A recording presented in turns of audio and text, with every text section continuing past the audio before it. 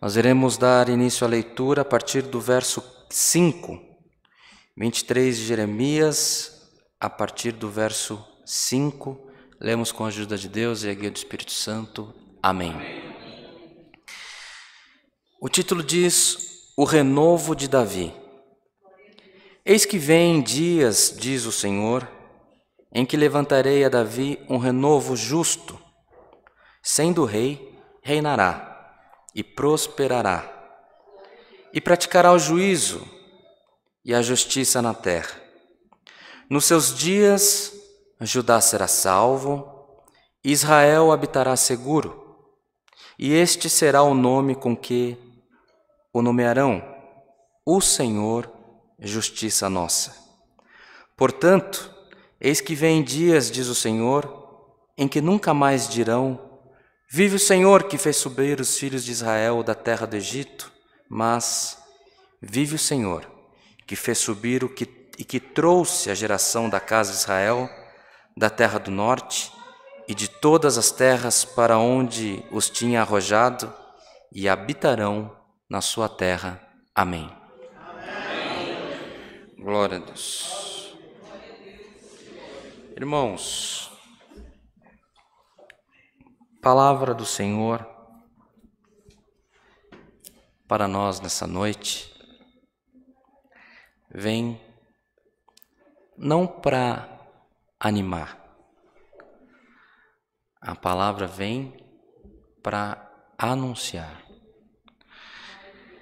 Esse texto ele está em meio a diversas profecias de derrota, de destruição porque o Senhor assim despertava Jeremias no tempo em que ele exerceu o ministério dele. Mas no meio da prova, no meio da anunciação da guerra, no meio da anunciação da tomada do povo, do, do exército inimigo invadindo Israel, levando todos em cativeiro, há esse texto falando que, ainda que esteja no meio de uma grande prova, haverá um renovo no meio da igreja. Irmãos, aqui fala, se você ler antes, se você ler depois o livro de Jeremias, ele narra toda sorte de provação que aquele povo haveria de passar. Mas no meio, ele está falando que haverá um renovo justo e todos deverão anunciar aquele renovo. E a palavra do Senhor para nós nessa noite, que aqui estamos, os nossos irmãos que nos acompanham pela internet, pode estar tá pegando fogo do teu lado, irmão, do teu lado, irmã. Pode estar tá tudo atrapalhado de ponta cabeça. O Senhor te enxerga no meio da tua prova e te anuncia que haverá um renovo no meio da tua família, no meio dos teus. O Senhor cria, irmão.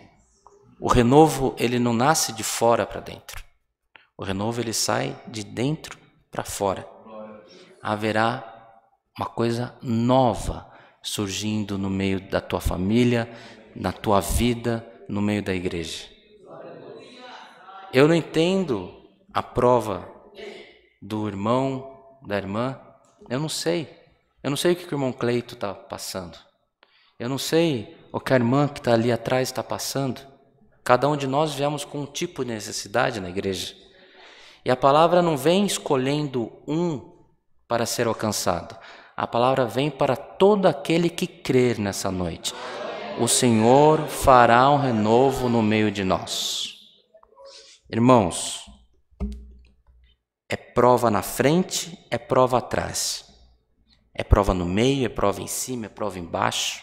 O livro de Jeremias fala de provação. Mas o Senhor escolheu um ponto para falar de anunciação de boas novas, falar de resgate, falar de benção. Então a tua vida será marcada pelo renovo, é pelo que haverá de novidade, pelo que haverá de coisas boas na tua vida. É a palavra, irmãos. O Senhor nos despertou a esse respeito. Quantos exemplos temos na Bíblia de momentos de frustração, de momentos de tristeza? Vamos lembrar, irmãos, como Ana, que vivia uma vida que a outra esposa do marido dela dava filhos, ela não podia gerar, e ela sofria e ela não, não sentia-se valorizada, mas o Senhor ouviu a oração dela e o Senhor mudou o cativeiro dela. Ela estava, podia até ter condições financeiras, mas ela vivia num tempo de provação. Ela vivia como se fosse num deserto.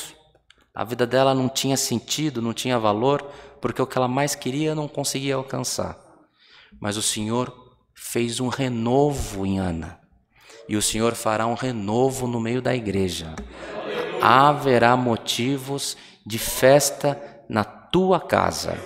A palavra do Senhor, ela vem e ela cumpre o que ela determina, porque é a inspiração de Deus nas nossas vidas e o Senhor cumprirá essa palavra no meio de nós. Essa é a palavra que o Senhor nos manda nessa noite. Recebamos ela como vinda de Deus e que em tudo nas nossas vidas o nome de Deus seja sempre louvado. Amém.